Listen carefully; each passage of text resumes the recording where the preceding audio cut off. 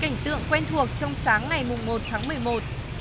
Người dân vẫn tìm đến mua xăng tại các cây xăng. Đây là một trong số 12 cây xăng trong địa bàn Hà Nội buộc phải đóng cửa. À, tôi hoàn toàn không biết đây là một trong 12 cây xăng phải di rời tỏa. Ờ, đi qua đây thấy họ để là không bán xăng từ hôm qua. Tưởng hôm nay là vẫn bán thì đi vào nhưng thực tế không bán được chả biết đổ xăng đâu. Tại một cây xăng khác trên phố Khâm Thiên cũng rất đông người tìm đến mua xăng. Theo quyết định của ban nhân thành phố Hà Nội, địa điểm cây xăng bán xăng chúng tôi là một trong những địa điểm phải à, đình chỉ hoạt động. Thế thì cũng theo kết luận của ban nhân thành phố thì chúng tôi đã nghiêm túc thực hiện, đảm bảo ngay đúng à, từ à, 18 giờ ngày 31 tháng 10 thì cơ quan đơn vị chúng tôi đã cho dừng hoạt động theo cây xăng theo đúng quyết định của ban nhân thành phố. Thế do vậy mà đến thời điểm này thì có lẽ là lượng tồn kho cũng ở cái mức tối thiểu. Theo quyết định của Ủy ban Nhân dân thành phố Hà Nội, trong ngày 1 tháng 11, 12 cây xăng trong diện phải di rời giải tỏa, phải đóng cửa hoàn toàn. Và theo quan sát của phóng viên chúng tôi, 4 cây xăng trong địa bàn nội đô, hiện tại các cây xăng này đã nghiêm túc thực hiện. Đối với việc ờ, cây xăng, ờ, họ đã cam kết là nghiêm túc thực hiện theo chỉ đạo Ủy ban Nhân dân thành phố, thì đội quản lý thị trường số 4 cũng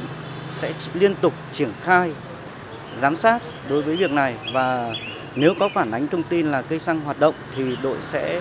lập tức tiến hành kiểm tra và xử lý vi phạm theo đúng quy định bởi vì khi cây xăng hoạt động lại là họ đã không có giấy chứng nhận đủ điều kiện kinh doanh nữa rồi. Đội quản lý 8 ngay từ đầu giờ sáng,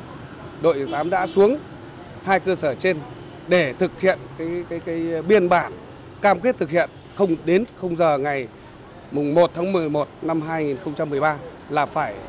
uh, thực hiện đóng cửa triệt để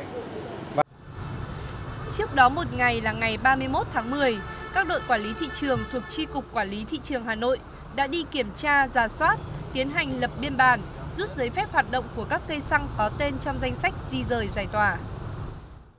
Ngoài 12 cây xăng phải di rời giải tỏa thì còn có 32 cây xăng phải cải tạo và hai cây xăng buộc phải đóng cửa hoàn toàn trước tháng 5 năm 2014. Trong 32 cây xăng phải cải tạo lại sẽ tạm thời nghỉ bán hàng trong quá trình cải tạo để đảm bảo công tác phòng chống cháy nổ được an toàn. Tuy nhiên ở đây chúng tôi cũng đang đặt ra có một cái vấn đề là chắc chắn là đến giờ phút này sẽ có một số cửa hàng không tiên lượng được cái lượng bán hàng của mình và sẽ có một số cái lượng tồn nhất định.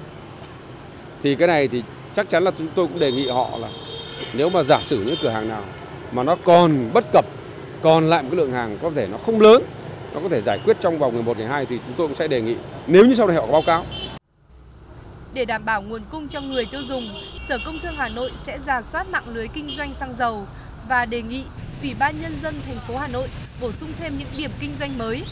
Nếu có đủ các điều kiện, tăng cung ứng xăng dầu của các điểm kinh doanh xăng dầu được phép tồn tại.